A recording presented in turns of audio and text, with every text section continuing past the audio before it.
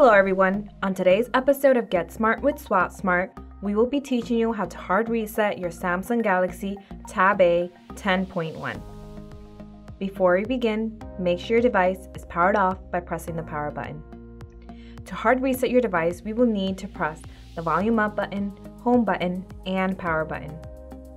First, hold the volume up button, now the home button, and finally the power button until the Samsung logo appears, and release all buttons. Now wait until the Android recovery screen pops up. Do you have old devices not being used at home? Trade them in for cash at swopsmart.com. It's quick and easy. When the Android recovery screen appears, use the volume down button to navigate to wipe data, factory reset, and press the power button to select. Navigate to yes by pressing the volume down button and confirm by pressing the power button. Wait for the factory reset to complete and you're done. If you found this video helpful, please subscribe to our channel, like the video, or leave a comment. We'd love to hear from you. Thank you for watching. Until next time.